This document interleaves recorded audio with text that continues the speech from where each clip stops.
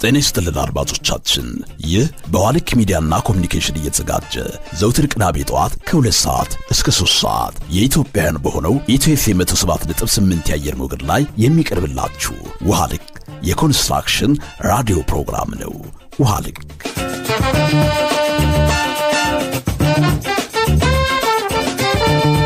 በውሃ ልክ የሬዲዮ ፕሮግራም ስለ ሀገራችን የምህንድስና ጥበብ በስፋት እያነሳሳን ከቀደምት ጥንታዊና ታሪካዊ ግንባታ አሻራዎቻችን ማለፊያ ልምዶችን እየቀሰምን የዛሬውንም ዘመን የግንባታ ሂደት በጥልቅ ምርምርና በበሳል ሙያዊ ምልከታ እየቃኘን ጠቃሚና አዎንታዊ የተሰኙ ሐሳቦች ለትውልድ እንዲሻገሩ ተደማምጠን የምንወያይበት የሁላችንም የጋራ ሰዓት ነው።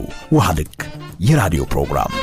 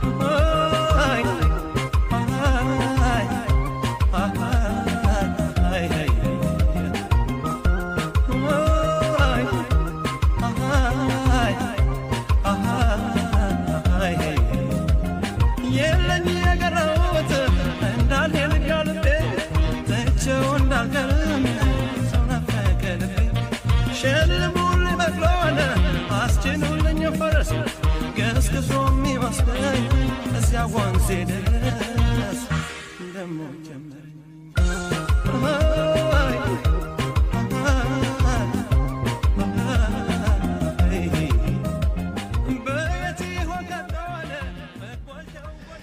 ጤና ይስጥልን ውድ አድማጮቻችን። በውሃ ልክ ሚዲያና ኮሚኒኬሽን እየተዘጋጀ በኢትዮጵያውያን ቤት ሬዲዮ ኢትዮ ኤፍ ኤም መቶ ሰባት ነጥብ ላይ ዘውትር ቅዳሜ ከሁለት እስከ ሶስት ሰዓት የሚደመጠው በልክና በቁም ነገር ስለ ሀገራችን ኮንስትራክሽን እያነሳሳን የምንጨዋወትበት ውሃ ልክ የሬዲዮ ፕሮግራማችን ዛሬ ስቱዲዮውን ጢም ጢም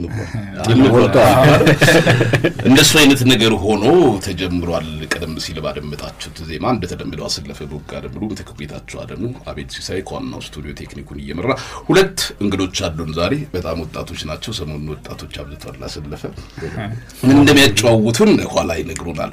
ባሰለፈ ሰሞነኛ ጉዳዮችን ጀምርና በቀጥታ ወደ እነሱ ነው የምንሄደው። ስለምታደምጡን ሁሌም ደስ ይለናል።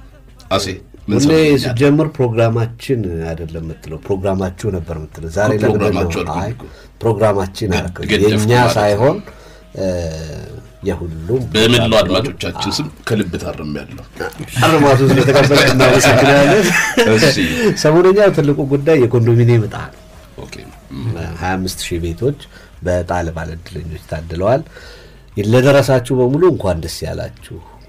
የከተማ አስተዳደሩንም 25 ሺህ አባወራዎችን የቤት ባለቤት ማድረግ ስለቻለ እናመሰግናለን። ቀሪዎቹን ህንፃዎች በመጨረስ ደግሞ የከተማችንን የቤት ችግር ለመፍታት ትልቁን እርምጃ የከተማ አስተዳደሩ ይራመዳል ብለን እናስባለን።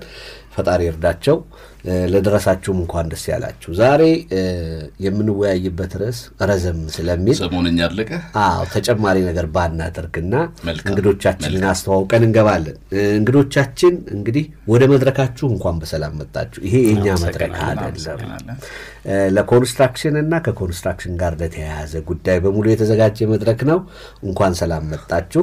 አንዳችሁ ጠያቂ አንዳችሁ ተጠያቂ ሆናችሁ ነው የምትቀጥሉት። ግን ሁለታችሁም መጀመሪያ የምትጠየቁት ራሳችሁን እንድታስተዋውቁ ነው። ከናሆም ልጀምር። አመሰግናለሁ አሰለፍ ፕሮግራሙን አመቻችታችሁ እንግዲህ አንዳንድ ሙያዊ ነገሮችን ወደ ህዝቡ ተደራሽ እንዲሆኑ ይህን ስላደረጋችሁ በመጀመሪያ ማመስገን እወዳለሁ። እ፣ ናሆም ተክሉ እባላለሁ። የኪነ ስነ ህንፃ ወይም የ architecture ባለሙያ ነኝ። ከቅርስ ጋር ተያይዞ የተለያዩ የጥናትና የስነ ጽሁፍ ስራዎችን እሰራለሁ። እንግዲህ ስለ ራሴ ይህን ካልኩ ይበቃል መሰለኝ። አቤል። በጣም ጥሩ። አቤል እንቀጥል። እሺ አቤል አሰፋ እባላለሁ። በሙያ የቅርስ ጥገና ባለሙያ ነኝ። አሁን ላይ የይምጡ ወዝና ሙዚየም በቅርብ የተከፈተ የሙዚየምና ባህል ማዕከል ነው። የእሱ ዳይሬክተርና ዋና ኪዩሬተር ነኝ። በተለያየ ሙያ ላይ ነው ያሉት። በተለይ በቅርስ ጥገናና በ curation ወይም ደግሞ አጋፋሪነት ስራዎች ላይ እሰራለሁ። አጋፋሪነት ማለት ምንድን ነው? አጋፋሪነት curation ማለት ነው። ምንድን ነው? በአንድ ርዕሰ ጉዳይ ላይ የስነ ጥበብ ስራዎችን ወይም ደግሞ ታሪካዊ ፎቶግራፎችን እና ተያያዥ የሆኑ ጉዳዮችን topic እየሰጡ እና እያሰናዱ ማቅረብ ነው እና የዛሬ አመት እንደውም የኢትዮጵያ ጸጉር አሰራር ሰምና ወርቅ የሚል ኤግዚቢሽን አቅርቤ ነበረ። ከጀርመን የመጡ የፎቶግራፍ ስብስቦች ላይ መሰረት አድርጎ ጸጉር ኢትዮጵያ ላይ የራሱ ቋንቋ አለውና ያን ቋንቋ በፎቶግራፍ እና በእውቀት ደረጃ እንዴት ሊቀርብ ይችላል የሚለውን አቅርቤ ያለው እና አጋፋሪነት ምንድን ነው? አጠቃላይ በአንድ ርዕሰ ጉዳይ ላይ አንተ በቀጥታ ተሳታፊ ባትሆንም የተለያዩ መረጃዎችን በመሰብሰብ ከሌሎች አርቲስቶችና ስራዎች በመሰብሰብ የምታቀርበው ስራ ነው። ኮንስትራክሽኑን ወደ ስነ ጽሁፍ ወሰዳችሁ እንዳይለን አሰለፈ ፈታ አይ ብላችሁ በጣም እኔ ደስ ብሎኛል ዛሬ አሁን አድማጮቻችን ራሱን እያስተዋወቀ እያለ አቤል ምንድነ ምንድነው ያለው? ይምጡ በዝና ነው ያለው ነው የሚሉት። ይምጡ በዝና ምንድን ነው? እንደው እሱን ከመጀመራችን በፊት ደግሞ የፕሮግራማችን format ምንድነው ዘናና ፈታ ብላችሁ ያሻችሁን እያነሳችሁ ልክ ሻይ ቡና ስትሉ እንደምትጨዋወቱት የልባችሁን የምታወጉበት ስለሆነ ነጻነቱ እስከዛ ድረስ ነው። እንድታወጉ እድሉን ሰጥተናል። ስለዚህ እኔም በመጀመሪያ ጥያቄ እወጣለሁ ማለት ይምጡ በዝና ምንድን ነው ካልኩ በኋላ እሱን አስታውቀን ለሁለተኛው ጥያቄ እንሄዳለን። እሺ እሺ አመሰግናለሁ አሰለፍ። እንግዲህ ዛሬ ያው ሁላችንም እንደምናውቀው ከቅርስ ጋር ተያይዞ ያሉ ነገሮችን ብዙ ጊዜ እንግዲህ ለትልልቅ ሰዎች ወይም ጸጉራቸው ነጭ ለሆኑ ሰዎች ብቻ የምንተወ ሳይሆን ልክ እንደኛ ደግሞ ወጣት ሆነው በዚህ ዙሪያ የሚሰሩ ሰዎችም ጉዳይ ነው እና ከዛ ጋር በተያያዘ ነው ዛሬ እዚህ የተገኘ ነው።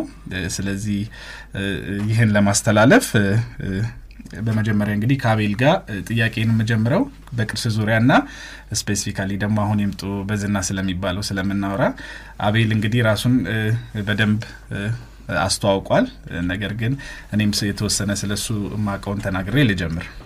አቤል እንግዲህ በቅርስ ዙሪያ ኢትዮጵያ ውስጥ ከሚሰሩ የተወሰኑ ተቋማት በአንደኛው እና በዋነኛው ውስጥ የቅርስ ጥናትና ጥበቃ ባለስልጣን በሚባለው የመንግስት መስሪያ ቤት ውስጥ ከአስር ዓመት በላይ ሰርተዋል።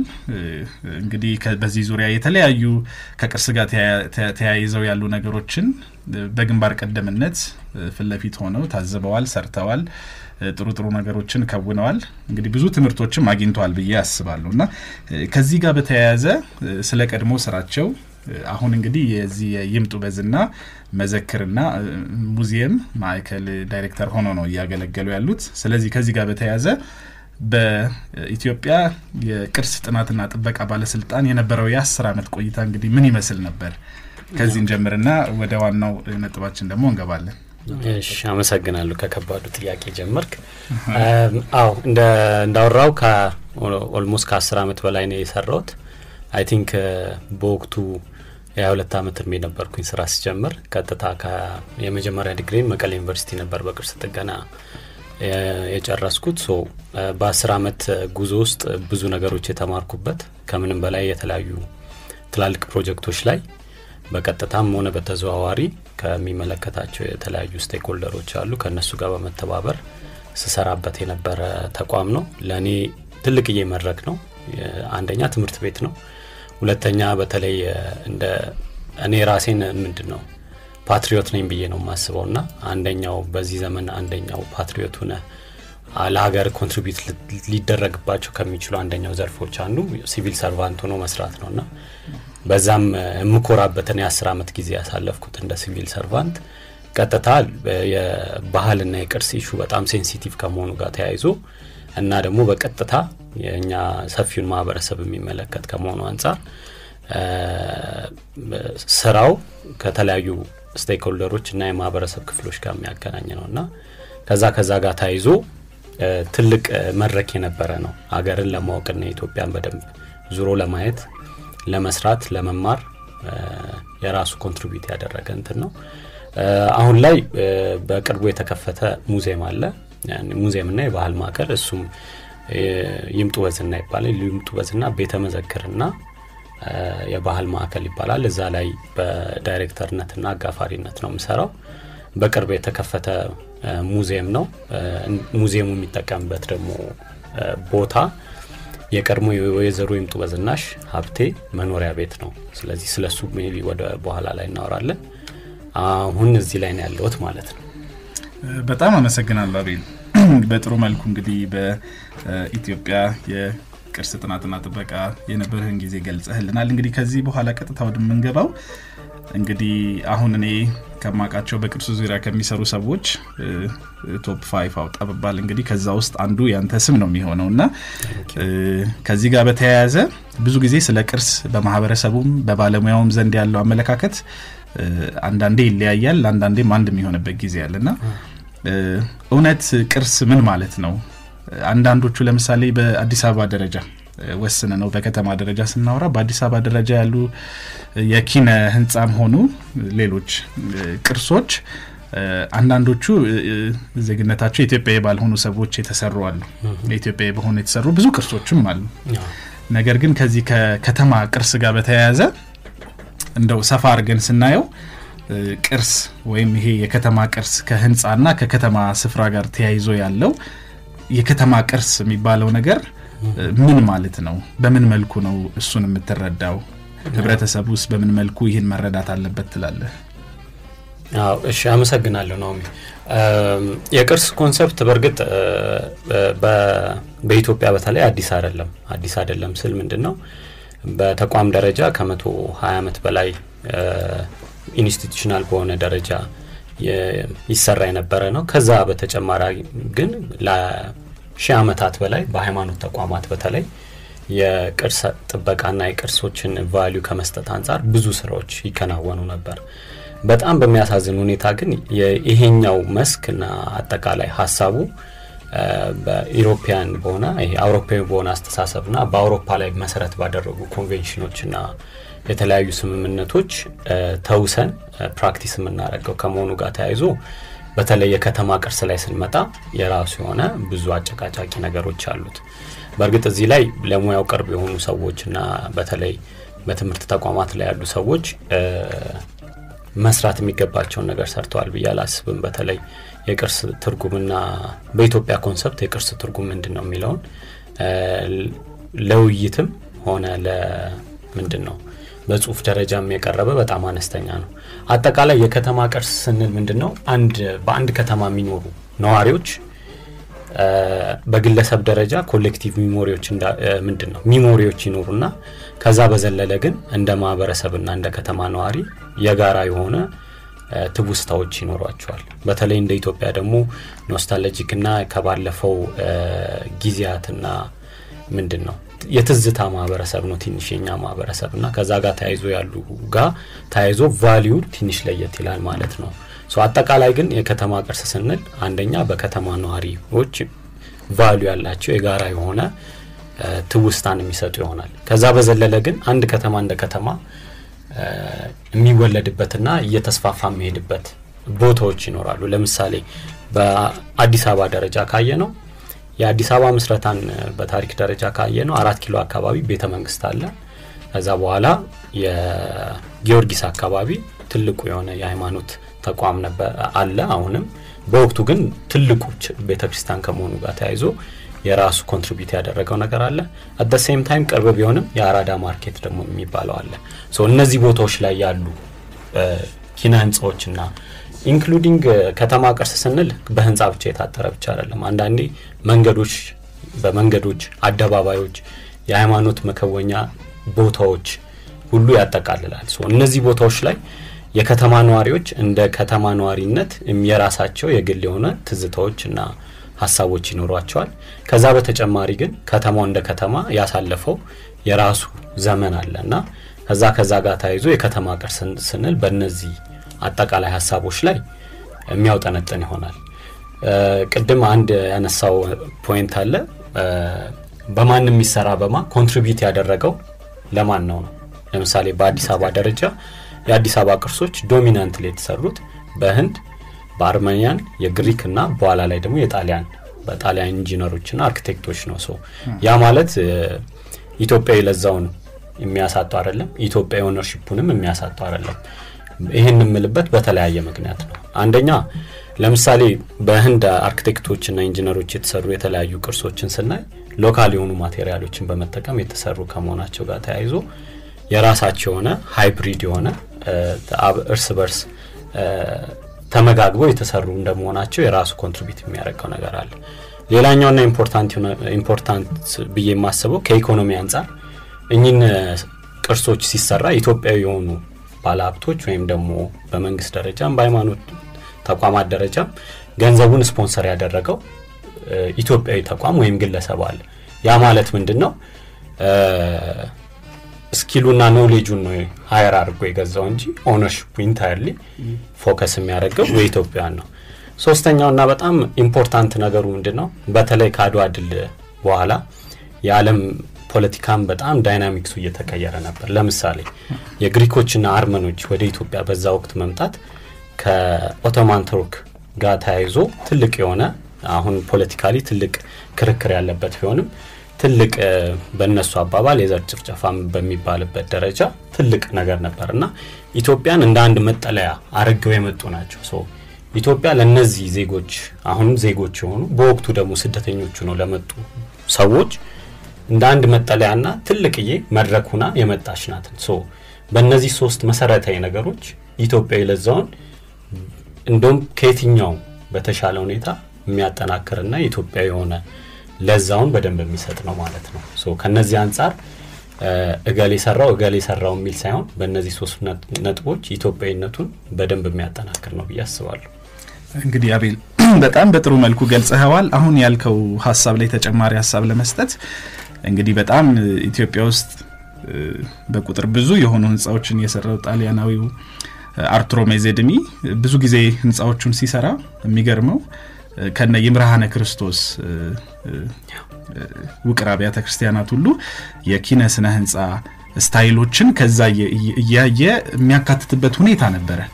አንድ እንደዚሁ በእስራኤላዊ አርኪቴክት ዘልማኒ ናፍ በህይወት አለ። አሁንም 94 ዓመቱ ነው እና ኢትዮጵያ ውስጥ የተለያዩ ስራዎችን ሰርቷል እና ልክ እንደዚሁ የውጭ ጉዳይ ሚኒስትር ህንፃን ሲሰራው በተመሳሳይ መልኩ በጊዜው ከነበሩ የመንግስት ባለ አስተዳደር ላይ ከነበሩ ሚኒስትሮች ጋር እንደውም ብዙ ክርክር ነበረው እና እነሱ more ይሄ የውጭ ዜግነት የነበራቸው አርኪቴክቶች ኢትዮጵያ ላይ ሲሰሩ humanist ነበሩ ነው ምሁራኑም የሚሉት እና so በዛ context ስለሆነ እንግዲህ አንተን በጥሩ መልኩ ገልጸኸዋል። አመሰግናለሁ።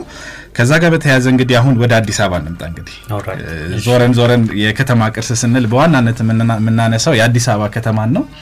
ቅድም አቤል እንዳልከው ከአዲስ አበባ ምስረታ ጋር ተያይዞ ምሁራኑ ሶስት ወሳኝ ቦታዎች አሉ ይላሉ። ለገሃር the train station ወይም የባቡር ማዕከሉ የገበያው አራዳ የሚባለውና ግቢ ቤተ መንግስቱ። so አዲስ አበባ እንግዲህ በእነዚህ ሶስት በዘረመልነት የሚጠቀሱ ቦታዎች አጋፋሪነት ተመስርታለች ነው የሚሉት። እና አዲስ አበባ እኔ አሁን ሳያት ሶስት ነገሮች አያለው አቤል።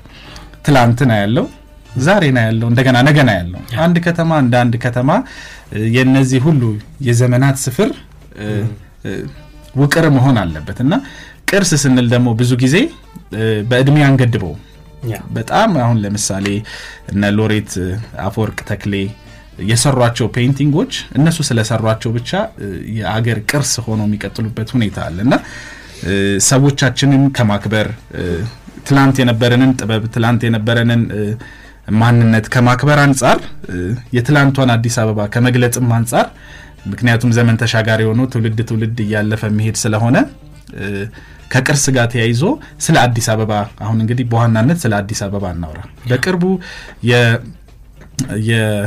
የኢትዮጵያ የቅርስ ጥናትና ጥበቃ ባለስልጣን ባወጣው እንትን ዜና መሰረት ወደ 336 የሚሆኑ ከዛ በላይ የሚሆኑ ቅርሶች እንዳሉ ተረድተናል እና ስለ እነዚህ ቅርሶች ምንድን ነው የምትለው አቤል? ቅርሶቹ ትላንትን ብቻ ነው የሚገልጹት? ዛሬን ነው የሚገልጹት? ምክንያቱም ከተማ የሶስቱ የዘመን ስፍሮች ሽሚያም ነች እና ስለ እነዚህ ቅርሶች ከአዲስ አበባ አንጻር እስቲ ምን ሀሳብ አለ? አዎ እንግዲህ በአዲስ አበባ context ካወራ ነው ስለ ትናንትናና ስለ ዛሬ ይነግሩናል።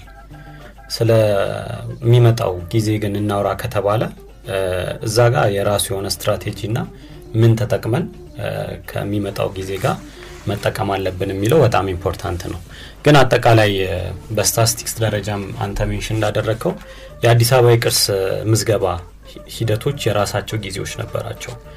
የራሳቸው ትርጉሞችና የራሳቸው ለውጦችም በተለያየ ወቅት አሳልፈዋል። የመጀመሪያው በአዲስ አበባ ደረጃ ቅርሶችን recognize ተደርገው መመዝገብ የተጀመሩት በ1982 ዓመተ ምህረት ዩኔስኮና በወቅቱ አሁን ስሙ ቢቀየርም የቅርስ ጥናትና ጥበቃ ባለስልጣን ሆኖ ማለት ነው በትብብር የተሰራ ነበር። ያኔ የነበረው የአዲስ አበባ የቅርስ concept እስከ ጣሊያን occupation ጊዜ የነበሩ በጣም significant የሆኑ ታሪካዊ ህንፃዎችን ነበረ የሚያደርገው። እዚህ ምዝገባ ላይ የራሱ ትልቅ ድክመት የነበረው ሀውልቶችንና የታሪካዊ ቤቶችን ቢያጠቃልልም በ urban space ደረጃ open space ኦችን street ኦችን መሰል የሆኑ ትልቅ የሆነ የማህበረሰብ እሴት ያላቸውን ቦታዎች አለማጠቃለሉ የራሱ እንትን አለው። ግን at same time በተለይ የአዲስ አበባን የቅርስ ትርጓሜን በደንብ determine ካደረጉ ስራዎች በጣም አንዱ ነው እና በወቅቱ ከተሰሩ even አሁን ላይ መሰረት ከሆኑ ስራዎች አንደኛውና በጣም ወሳኙ ነበር። ከዚህ ይጀምርና በተለያዩ ለውጦች የራሱ ለውጦች ነበሩት። 2002 ዓመተ ምህረት ላይ የቅርስ ምዝገባ ሲደረግ ወደ 232 ሆኑ። በኋላ ላይ 420 ገብተው ነበረ። በኋላ ላይ 360 አካባቢ so እኚህ የራሳቸው ለውጦች አሉ። ለምንድን ከተማ ነው። ከተማ ምን ጊዜም ይለውጣል። not በመንግስት ደረጃ የሚደረግ የልማት በመንግስትና በ private sector በሚደረግ የልማት ስትራቴጂዎች ብቻ ሳይሆን ማንኛውም ሰው መለወጥ ይፈልጋል። simply እንደ ግለሰብ የሳሎን ቤታችንን ቀለም ቀይረን ማስዋብ እንፈልጋለን። በዚህ ጋር ተያይዞ የከተማ ቅርሶች በራሳቸው ለለውጥ ምንጊዜም የተዘጋጁ ናቸው። ያ ከመሆኑ አንጻር የበፊቱንና የአሁኑን interlink ከማድረግ አንጻር ትልቅ የ contribution ያደርጋሉ። ግን at same time እና በጣም መነገር ያለበት የሚመስለኝ ምንድን ነው የከተማ ቅርስ በጣም sophisticated የሚሆነው ለምሳሌ አዲስ አበባ ላይ የ ownership ጉዳይ አለ። ownership ስንል ባለቤትነት ባለቤትነት ማለት ነው። so የአዲስ አበባ ቅርሶች ከ360 ምን ያህሉ በመንግስት ተይዘዋል? መንግስት ደግሞ ስንል በቀበሌ አስተዳደር የሚተዳደሩ ቤቶች አሉ። በቤቶች ልማት ኮርፖሬሽን የሚተዳደሩ ደግሞ ቤቶች አሉ። ይሄ አንደኛው ሴክተር ነው። በ other sector የ private sector ኡ አለ። በ private ደረጃ ደግሞ own ተደርገው ያሉ ቅርሶች አሉ። በሰርድ እና ብዙ የማይወራለት ደግሞ በገቨርንመንት ዴቨሎፕመንት ኢንስቲትዩትስ የሚባሉ አሉ። በነዛ ደግሞ የተያዙ የቅርስ ቤቶች አሉ። እነዚህ ሶስት ሴክተሮች የየራሳቸው ኢንተረስት አላቸው። እነዚህ የየራሳቸውን ኢንተረስት እንዴት ነው ኢንተርሊንክ የሚሆነው የሚለው በጣም በጣም እንትን ነው አሻሚ ነው፣ በጣም ትሪኪ ነው እና በደንብ ደግሞ የነጉድ ወይ ካልተመራ ባይት ሰልፍ የቅርስ ቫሊዩን ያሳጣውና ከቅርስነት እሴቱም ሊያ- ሊያስወጣውና ከምዝገባውም ሊያሰርዘው የሚችሉ ነገሮች ይኖራሉ። so ለእኔ በአዲስ አበባ almost ከ99.9 percent አካባቢ የሚሆኑ ቅርሶች are entirely በፊቱንና የአሁኑን ነው የያዙት። የወደፊቱን ግን ስትራቴጂ ያስፈልጋል። እንዴት አድርገን ለ development contribute እናደርጋቸው፣ እንዴት አድርገን በተለይ ይሄ common placeness የሚባል አለ urban planning ላይ ሰዎች ለአንድ ቦታ ላይ ያላቸውን attachment ከፍ ሊያደርጉ የሚችሉ ነገሮች አንደኛው ምንድን ነው በቅርስ ቦታዎች ላይ adaptively reuse በማድረግ የምንጠቀማቸው ነገሮች ሶስቱን ነገሮች ያያይዛሉ ማለት ነው።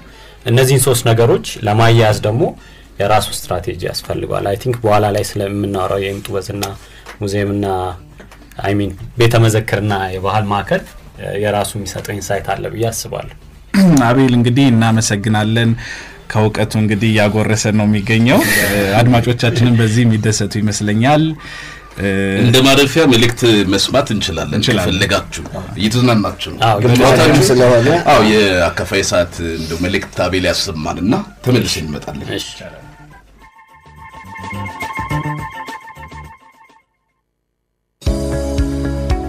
በውበትና ጥራት ደረጃቸው ዘመኑ የደረሰበትን የሴራሚክስና የመታጠቢያ ቤት ዕቃዎችን ለሀገራችን ገበያ በማስተዋወቅ ፈርቀዳጆች ነን።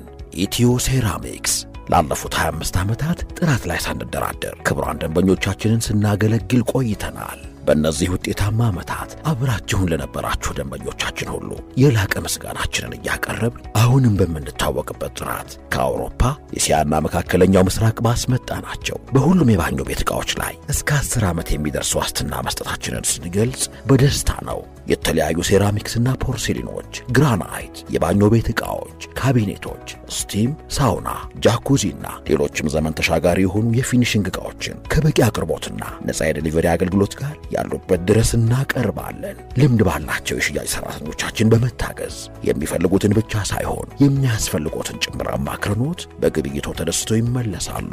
አድራሻችን ቦሌ ጃፓን ኤምባሲ ፒያሳ በከንቱ ካዛንቺስ Finishing Mall አራተኛ ፎቅና በጉርድ ሾላና ኡራኤል showroom ኦቻችን ያገኙናል። ስልክ 0938 88 88 88 ጥራትን ከውበት ጋር እንደ አዲስ ከኢትዮ ሴራሚክስ ተስፈኞች ሕልማቸውን እውን ለማድረግ ጀንበርን ተሽቀዳድሞ ይነሳሉ። በመንገዳቸው ላይ ያሉትን እንቅፋቶች ለማለፍ ሲሉ ከችግሮቻቸው ጋር ይታገላሉ። ለዓላማቸው መሳካት ለችግሮቻቸው እጅ ለማይሰጡ ብርቱዎች ምቹ የኦሮሚያ ኅብረት ሥራ ባንክ ካለምንም ማስያዣ በዲጂታል መንገድ ንግዶን ለማሳደግ ብድር የሚያገኙበትን ዘዴ አመቻችተዋል። በየትኛውም ጥቃቅንና አነስተኛ ንግድ ዘርፍ ላይ ከተሰማሩ ማረጋገጫ በመያዝ ወደ ቅርንጫፎቻችን ጎራ ይበሉና የምቹን መተግበሪያ ጭነው የገንዘብ አቅሞን በማሳደግ ንግዶን ከፍ ያድርጉ። የኦሮሚያ ኅብረት ሥራ ባንክ ለላቀ ለውጥ ይቆም።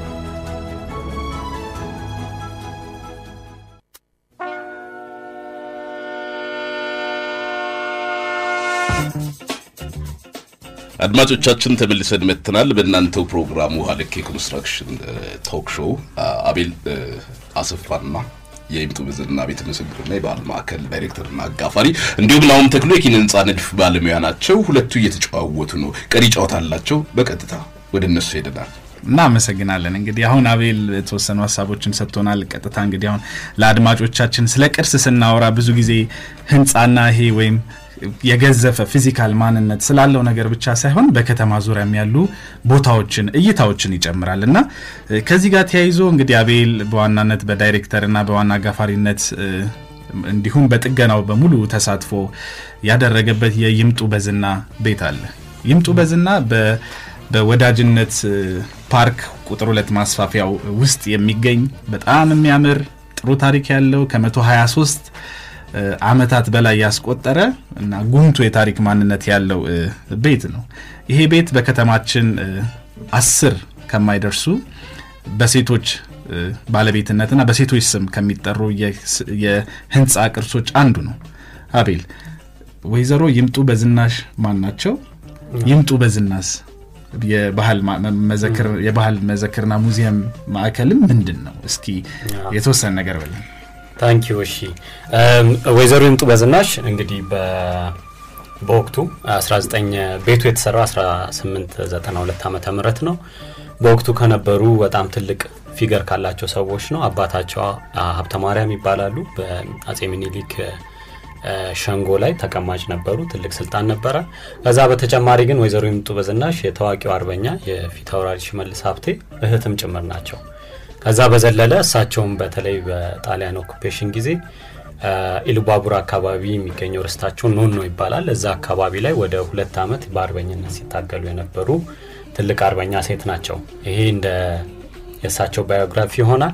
ቤቱ 1892 ዓ ም በ Indian engineers ቅድም ባወራናቸው Indian engineers የተሰራ ቢሆንም ሙሉ ወጪውን በመሸፈን ደግሞ ያሰሩት እሳቸው ራሳቸው ናቸው ቤቱ በቅርስነት ደረጃ ቅድም በነገርኳችሁ ከ1982 ዓ ም ጀምሮ በነበሩ ወደ አምስት የሚደርሱ የቅርስ ምዝገባ process ኦች ላይ በሁሉም qualified ሆኖ የተመዘገበ የቅርስ ቤት ነው። በቅርስነት ደረጃ ምን አስመዘገበው የሚለውን ካየን ሶስት መሰረታዊ የሆኑ እሴቶች አሉት። ቅድም ስለ እሴት ማጥናት በጣም important ነው።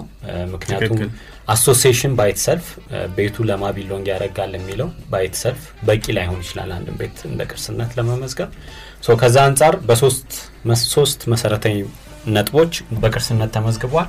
አንደኛው ካለው ኪነ ህንፃዊ እሴት አንጻር በ Indian engineer የተሰራ ቢሆንም ኢትዮጵያዊ የሆኑ የ construction material ኦችን በመጠቀም ኢትዮጵያዊ በሆኑ የእደ ጥበብ ውጤቶች እና ሰዎችን በመጠቀም የተሰራ ከመሆኑ አንጻር hybrid የሆነ የራሱ የሆነ ለዛ ባለው መሰረት የተሰራ እንደመሆኑ አንድ እሴትነት ያጎናጽፏል ሌላኛውና ወሳኝ እሴትነት ደግሞ ታሪካዊ እሴትነት የምንለው ነው። ያ ደግሞ ምንድን ነው 1888 በኋላ ከአድዋ ድል በኋላ አጼ ምኒልክ የአዲስ አበባ ማስፋፋትን በመፈለግ ያደረጉት ምንድን ነው በወቅቱ ለነበሩ የተለያዩ ኤምባሲዎችና ሚስዮኖች ኤምባሲዎቻቸውንም እንዲገነቡ ትላልቅ መሬቶች ሰጥተው ነበረ። ከዛ በተጨማሪ በአድዋ ድል በቀጥታ ሚሁን በተዘዋዋሪ የተሳተፉ አርበኞችና ጀግኖችን አዲስ አበባ ላይ ቤታቸውን እንዲሰሩ መሬት ሰጥተው ነበረ። so ያ ከሆነ በኋላ በኋላ ላይ አዲስ አበባ በተፈጠረው የእሳት ምንድን የማገዶ እንጨትን እጥረትና የ construction እንጨት እጥረት ወደ አዲስ አለም ሊቀየር ነበረ እና በወቅቱ ከነበሩ የተለያዩ argument ኦች አንደኛው ምንድን ነው ብዙ ይህን ሁሉ መሬት ተሰጥቶንና ይህን ሁሉ invest አድርገን አዲስ አበባ ላይ ይህን የሚያክል ህንፃዎች ከሰራን በኋላ እንዴት ወደ አዲስ አለም እንቀይራለን የሚለው ትልቁ discussion ነበረ። so በቀጥታም ይሁን በተዘዋዋሪ እንደ ይምጡ በዝናሽ የወይዘሮ ይምጡ በዝናሽ ቤት አይነት ቤቶች በወቅቱ ከተሰሩ ቤቶች አዲስ አበባን እንደ አዲስ አበባ ዋና መቀመጫ አድርገው ካስቀሩ ኪነ ህንፃዎች አንደኛው ነው ሌላኛውና ትልቁ መሰረታዊው የሆነው social value የምንለው ማህበረሰባዊ እሴት የምንለው ምንድን ነው?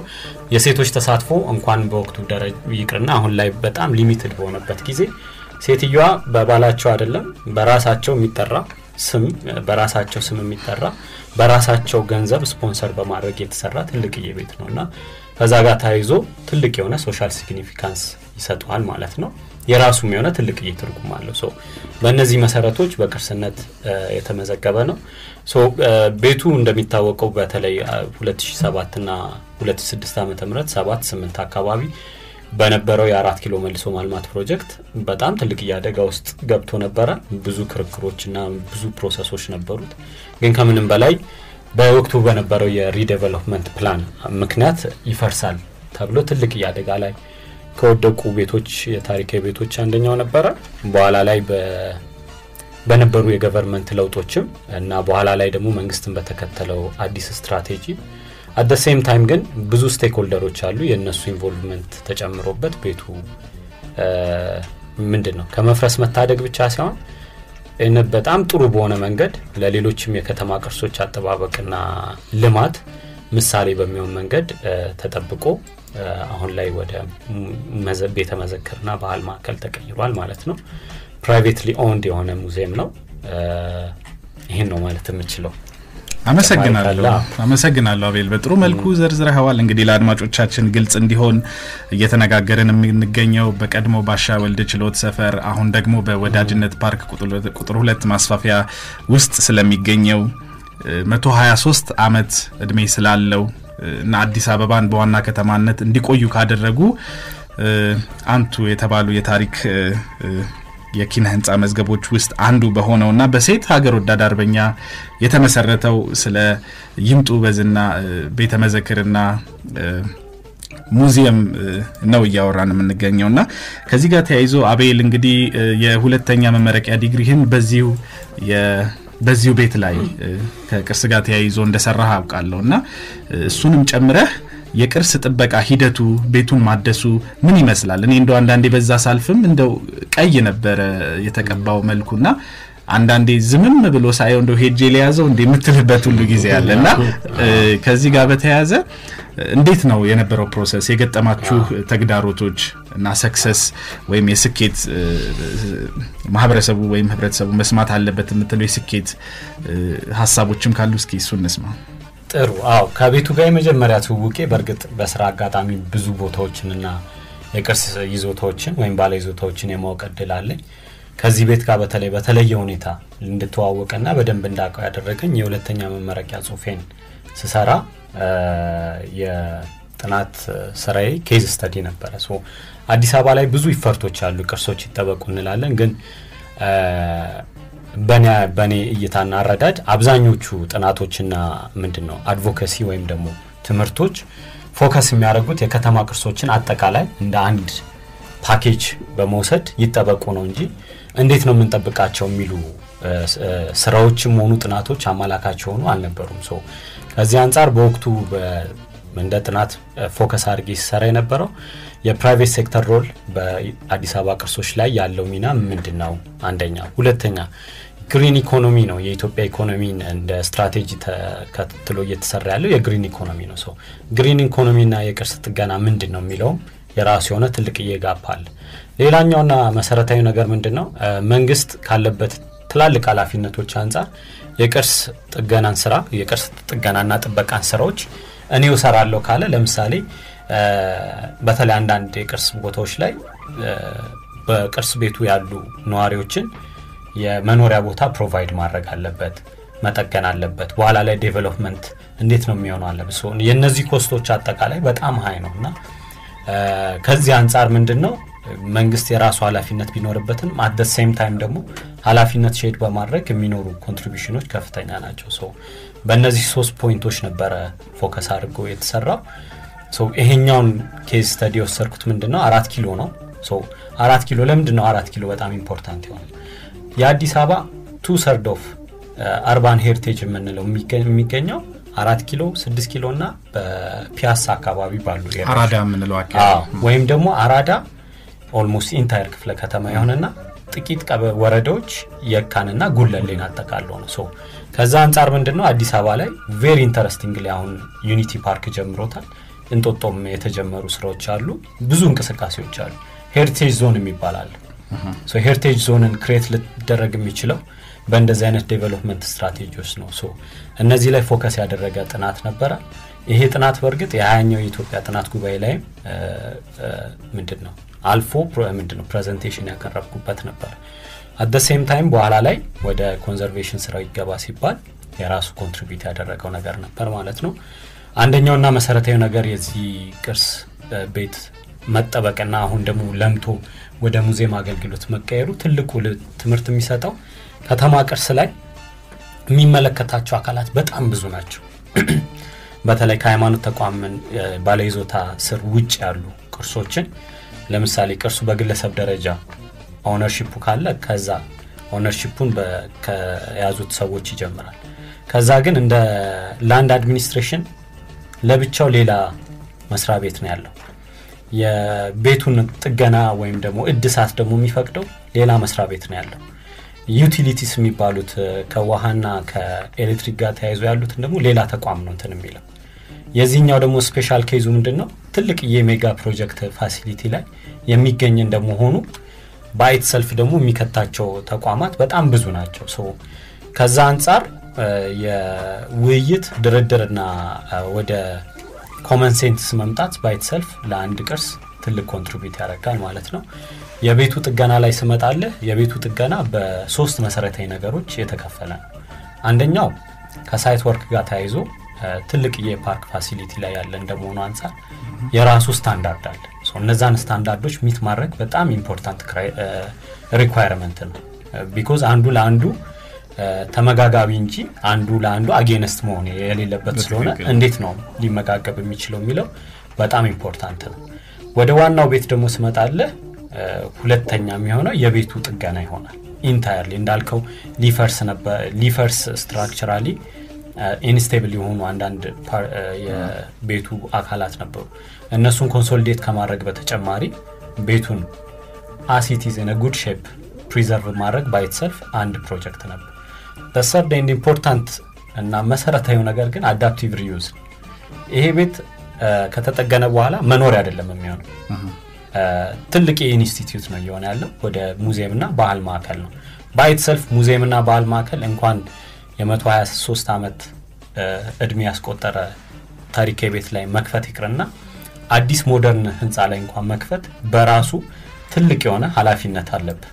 so ከዛ ጋር ተያይዞ እነዛን ነገሮች require ለምሳሌ spotlight መግጠም በጣም important ነው። አንዳንድ ወደፊት እንደ ኤግዚቢሽን እና የተለያዩ display ዎችን ሲሰሩ ሊደረጉ የሚገቡ ነገሮች አሉ። አንድ ሙዚየም collection room ያስፈልገዋል። እንዴት ነው እነዛን collection room ኦች የሚገባው የሚለው ያስፈልጋል። እነዚህ እነዚህ ደግሞ ተያይዞ ሶስተኛውና መሰረታዊ እንትን adaptive reuse ነው። ግን ከ time አንጻር time management እና እንዴት አንዱን ከአንዱ ጋር ማመጋገብ እችላለሁ የሚለው የ project management process ይሆናል። deadline ኦች ይኖራሉ። ያ ያ ሆኖ በዚህ ሶስት ፓኬጆች የተሰራ ስራ ነው። እንግዲህ አቤል በጣም አመሰግናለሁ። እኔ አሁን የምጡ በዝናን የቅርስ ቤት በአካል ሄጄ አይቼዋለሁ እና በጣም ግሩም በሚባልና ጥሩ አንድ የቅርስን እንዲህ ነው ማዳን ያለብን ሊባል በሚችል መልኩ የታደሰ ነው እና ብዙ ጊዜ ስለ ቅርስ ስናወራ የተለያዩ ባለድርሻ አካላት አሉ። አልሚዎች አሉ፣ ኢንቨስተርስ፣ የመንግስት መስሪያ ቤቶችና ባለስልጣናት፣ ባለሙያዎች፣ ቤት ውስጥ የሚኖሩ ሰዎች። ስለዚህ ብዙ ጊዜ ደግሞ ቅርሶች በአዲስ አበባ ደረጃ የሚፈርሱት ለልማት ነው። ቅርስን ደግሞ እኛ እንደምናውቀው አሁን በይምጡ በዝናም በደንብ በምሳሌነት እንደሚገለጸው ቅርስን ማልማት ይቻላል። ስለዚህ ከዚህ ጋር በተያያዘ አቤል ልማት ቅርስን ማልማትም ልማት እንደሆነ እና ይም- ከይምጡ በዝና ጋር አገናኝተህ እስኪ ባለድርሻ አካላትም ይህን የሚሰሙ ማህበረሰቡም እንዲረዳው ከእሱ ጋር የያዘ የቅርስና የልማትን ሀሳብ አዎ እኔ እንደውም ቅርስን ማልማት ይቻላል ብቻ ሳይሆን የቅርስ ጥገና ስራ by itself development ነው ብዬ ነው የማስበው። so ያው እዚህ process ኡ ላይ ቅድም ለማውራት እንደሞከርኩት የተለያዩ stakeholder ኦች አሉ። እነሱ ጋር እንዴት ነው ተባብረን የምንሰራው የሚለው በጣም ወሳኙና መሰረታዊ ነገር ነው። ግን የቅርስ ጥገና ስራ ከልማት ጋር ብቻ entirely limited የሆነ አይደለም። ቅድም እንዳልኩት ከ green economy ጋር እንዴት ነው የሚያያዘው የምንለው አንደኛውና መሰረታዊ ነገር አዲስ ህንፃ ስንሰራ እናፈርሳለን። በጣም ትልቅዬ waste አለ። ከዛ አዲስ እንገነባለን። by itself ትልቅዬ waste ነው። ግን ታሪካዊ ህንፃዎችንና ቤቶችን ስትጠብቅ የ waste እንትኑ በጣም ዜሮ ነው። በኢትዮጵያ ደግሞ የ carbon emission ኡ በጣም ዝቅተኛ። በኢትዮጵያ context ደግሞ እንደውም ዜሮ የሚገባው ምንድን ነው? አብዛኛው ቅርሶች የተሰሩት በጣም organic እና locally available በሆኑ material ኦች ነው። ጭቃ ነው። ጭቃ by itself easily decompose የሚሆን ነው። at same time ደግሞ ለ conservation ስራ የምንጠቀም ሰው ከዚህ አንጻር by itself የራሱ የሆነ ምንድነው ከ green economy ጋር contribute የሚያደርገው ነገር አለ። ሌላና መሰረታዊ ነገር እየጠፉ ያሉ በጣም መሰረታዊ skill ኦች አሉ። ለምሳሌ ጭቃ አቡኪ አሁን በቀላሉ ለማግኘት በጣም እየተቸገርን ያለበት ጊዜ አለ። ከዚህ ከዚህ ጋር ተያይዞ አዲስ አበባ ላይ ያሉ ቅርሶችን ይዞ የአዲስ አበባ አዲስ አበባ ስንል የአዲስ አበባ case በተለይ እንደነ ድሬዳዋ፣ ሀረር የመሰሉ ደግሞ በጣም dynamic የሆኑ city ዎች ላይም በተመሳሳይ ነጸብራቅም ጭምር ነው እና አዲስ አበባ ስንል I think አድማጮችም ሌሎችም ሰዎች እንዲረዳ የምንፈልገው አዲስ አበባ ላይ ስለተቀመጠን ሳይሆን የራሱ የሆነ case ስላለው ነው እንጂ አብዛኛው የኢትዮጵያ ከተሞች ላይም adaptive ሆኖ ሊታይ የሚችል ነገር ነው። ከዛ አንጻር እነዚህ አይነት skill ኦች አሉ locally avail በጣም important የሆኑ skill ኦች እየጠፉ ያሉ so የአንድ የቅርስ ጥገና process እነዚህን skill ኦች revive ከማድረግ አንጻር local craft ኦችን እና craftsman ኦችን የስራ እድል ከመፍጠር አንጻር እና ደግሞ sustainability ውን ከማስቀመጥ አንጻር by itself contribute የሚያደርገዋል። ለ third ዋን ወደ ኢኮኖሚ ስንመጣ ስሩ process contribute የሚያደርገው job creation አለ by itself ከተጠገነ በኋላ ደግሞ እንጠቀምበታለን የምንለው purpose አለ። ከዛ purpose ደግሞ በኋላ contribute የሚያደርገው የራሱ የሆነ job creation አለ። እዛ ጋር በእርግጥ ይህን የሚሰሩ ባለሙያዎችና field of study የራሱ ቢሆንም የምንረዳው ነገሮች አሉ። ከነዚህ ከነዚህ አንጻር ምን ይሆናል የቅርስ ጥገና ስራ የ development አካል ብቻ ሳይሆን በ itself development ይሆናል ማለት ነው።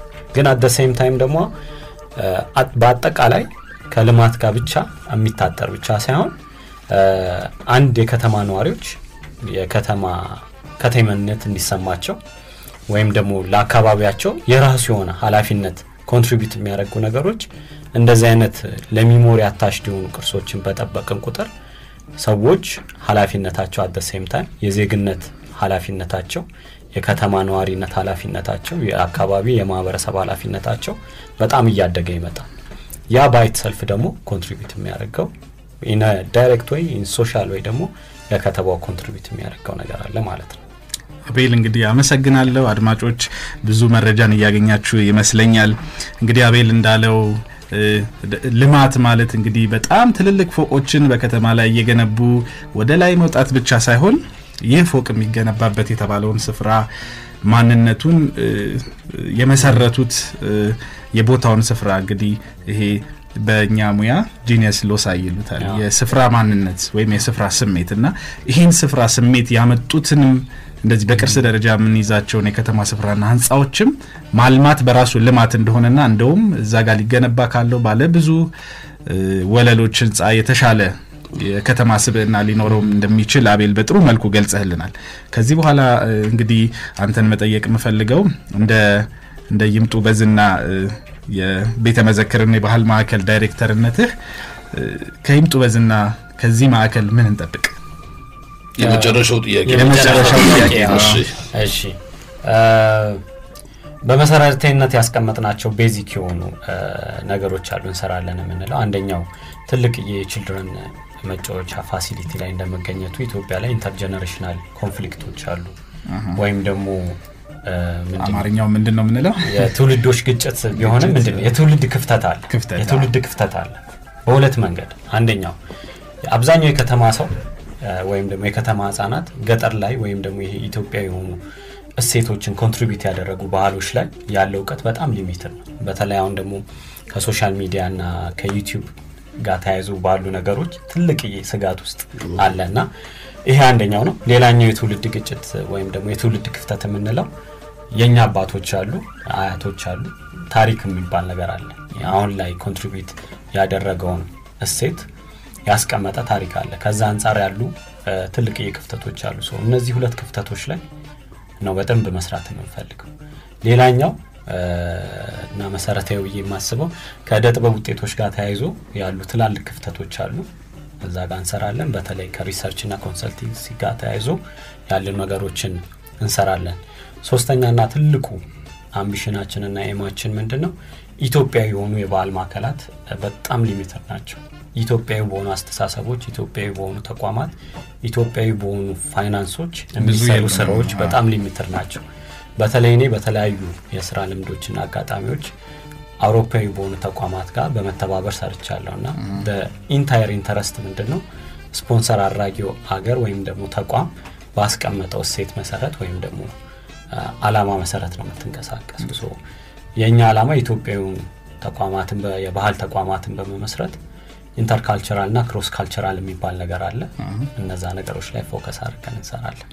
አቤል እንግዲህ የመጨረሻውን መጨረሻ ከምስጋና በፊት እኛ ምድል ይኖረና መልካም ይቻላል። ጣቢያውንም ቢሆን አንድ ሁለት ደቂቃ ማተውሰን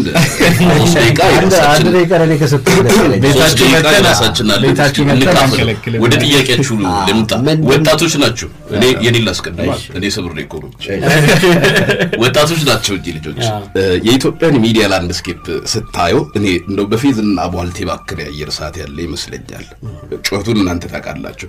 ይዘት አልባው ጩኸት ወደ ማህበራዊ ቶርች እንዳያንደረድረን እናንተ ትክክለኛዎቹ ባለሙያዎቹ ለምን ወደ መድረኩ አትመጡም? ለምን ሚዲያውን አትይዙም?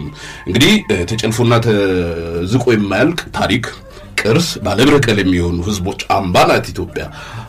አቤልም አቤልም በሙያ እና ሆሜም በሙያችሁ መጥታችሁ ለምንድን ነው ሚዲያውን ማትይዙት? ከዚህ በላይ ምን ውይይት አለ? ከዚህ በላይ ምን ፍሬ ነገር አለ? የዛሬው እኮ ወግ ነው ነገ አይደል? ለምንድን ነው ማሰሩት የሚል አንድ ጥያቄ ነው። ሚዲያ የለውጥ አንድ የለውጥ መሳሪያ ነው ይባላል። leading role ኡ ያው ከተጠቀምንበት እና ያለውን ዋጋ ሳስብ ለምንድን ነው እነኚህ ወጣቶች ማይመጡት?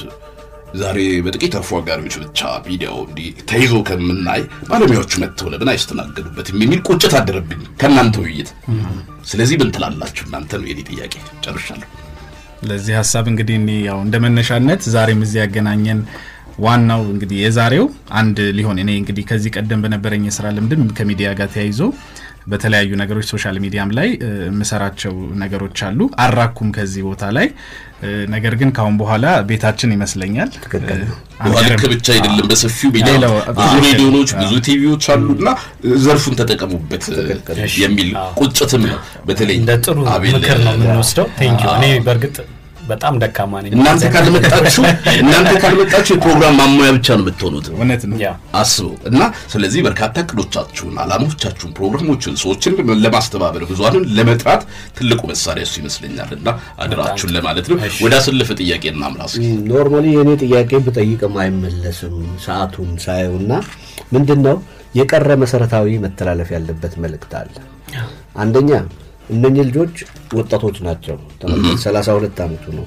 ሀያ ሁለት ዓመቱ ላይ ስራ ጀምሮ አስር ዓመት ሰርቶ ከባድ ለውጥ ነው የተከሰተው እና ይሄ ነገር በደንብ ለአዳዲሶቹ ወጣት ልጆች መተላለፍ አለበት። አንድ ሁለተኛ ownership ን በተመለከተ ቅርስ የመንግስት ወይም የድርጅት ብለን ነው የምናስበው። በግለሰብ ደረጃ ቅርስ development ላይ ተሳትፎ ገቢ ማግኘት እንደሚቻል ትልቅ ማብራሪያ ይፈልጋል። አንድ። ሁለተኛ የወደፊት ነገር በደንብ አላወራ ነው። ለምሳሌ ስለ ሼሆጀሌ ቤት እያወራን ነበረ አደላ ቤት አርባ ሁለት አባወራዎች ላዩ ላይ ሰፍረውበታል አልከኝ። ቁጥር ተሳሳትኩ? አልተሳሳትክም። እነኛን አባ- አርባ ሁለት አባወራዎች የሼሆጀሌን ቤት ደብሎፕ በማድረግና በማስጎብኘት ለራሳቸውም ገቢ መኖሪያ ማምረት ይቻላል እና ወደፊቱን አላወራንም። አዎ። ስለዚህ ሳምንት ብን እንደዛ ፍቃድ እንጠይቅ። መቼም ብዙ ብታውቁ አላወራንም አስባለሁ እና ሳምንት ብናወጋ ይመቻችሁ አይ ቲንክ መቀጠል አለብን። ምክንያቱም አንድ ነገር አለ። ቅድም ስለ ኦነርሺፕ ሳውራ ኦነርሺፕ ኮቴሽን ውስጥ ነው የሚገባው። በእንግሊዝኛው ከስተዲያን ነው፣ እንደ ሞግዚት አስተዳዳሪ ነው። ማንኛውም ቅርስ የህዝብና የመንግስት የህዝብ ነው የሚሆነው፣ ግን የሚኖረው በባለቤትነት የሚይዘው አካል አለ። ባለቤት ስንል ያ ነው። ያ ደግሞ ወደ ልማት ስለሚያመጣው ካገኘንም ከመንግስት ሰው አንድ ተወካይ ከባህልና ቱሪዝም እንደዚህ ከቅርስ አንድ ሰው ጨምረን እንሞክራለን። ወጣቶቹም በቂ ናቸው። ስለዚህ ሳምንት በዛ መልኩ የምንመለስ ይሆናል። ውድ አድማጮቻችን ስላደመጣችሁን ከልብ እናመሰግናለን። አሰለፈ ቦጋለ ሙሉ፣ ናሆም ተክሉ፣ አቤል አሰፋ፣ አቤል ሲሳይ እንዲሁም ምትኩ ጌታቸው ደግሞ በጋራ ዛሬም ከእናንተ ጋር ነበርን። ስላደመጣችሁን ከልብ እናመሰግናለን። ሰናይ ቅዳሜ።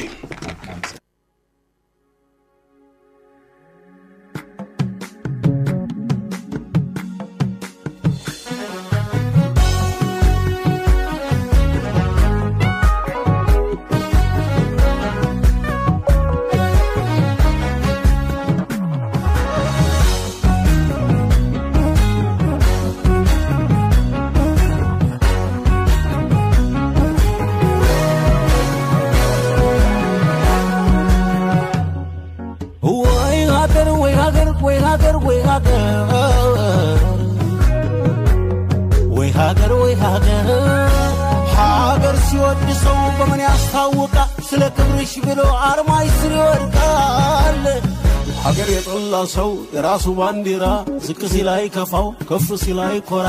አይ እናት አለም አንቺ ፍቅር መናኝ ብከዳሽ ቀን ይግዳኝ ይግዳኝ ብከዳሽ ቀን ይግዳኝ ብከዳሽ ቀን ይግዳኝ ይግዳኝ ብከዳሽ ቀን ይግዳኝ አንቺ ፍቅር መናኝ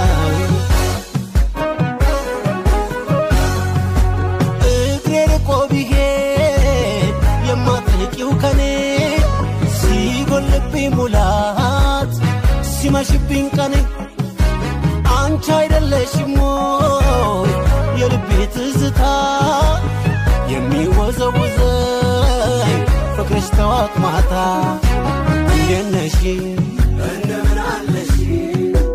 እንዴት ነሽ? እንደምን አለሽ እንዴት ባላየ ባጣሽው ለካሽ ማጣት ክብርሽን የማያስነካ ናኔ ናንዬ ሳቴ ታስዬ ጸጌ ሙሽሪቴ ሳለሽ እናቴ እናቴ ሙሽሪቴ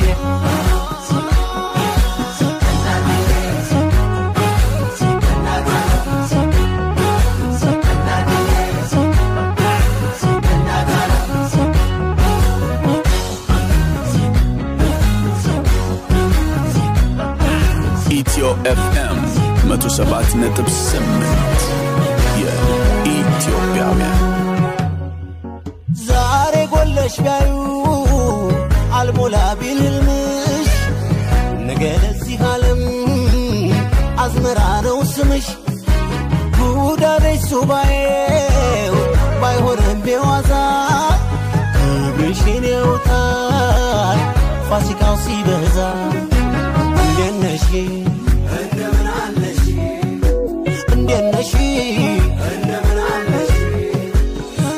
ነሽ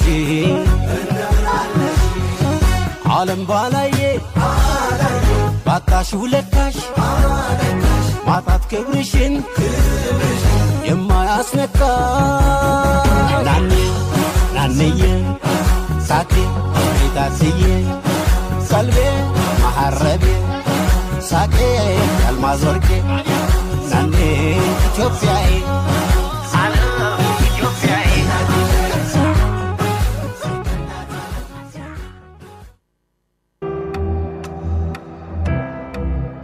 ጤና ይስጥልኝ አካም ነገያ ሂቶቴ ጠህና ብለይ ወይም ነሁ ይህ ኢትዮ ኤፍኤም 107.8 ነው።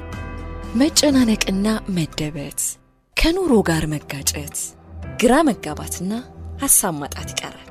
ወደ ውብ የኪነ ጥበብ፣ የሙዚቃ፣ የጨዋታና ቁም ነገር ዓለም አብረን እንጓዛለን። ሁሉም ጥሩ ይሆናል። አሁን ከጠዋቱ ሶስት ሰዓት ሆኗል። ኢትዮ ኤፍኤም የኢትዮጵያውያን